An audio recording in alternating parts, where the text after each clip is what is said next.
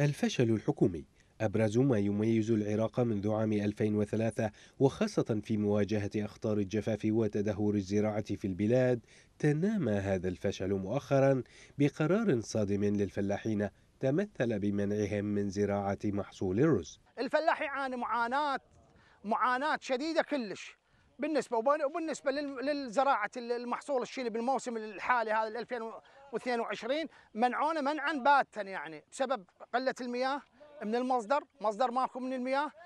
ما أعطونا إلا مساحة قليلة كلش بالنسبة مطين للأبحاث بالنسبة للبذور مطين للأبحاث ومطين للعمود الرئيسي.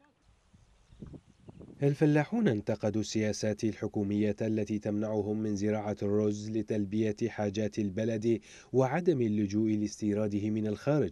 وابتعاد هذه السياسات عن البحث عن الحلول كاستخدام التقنيات الحديثة في الري.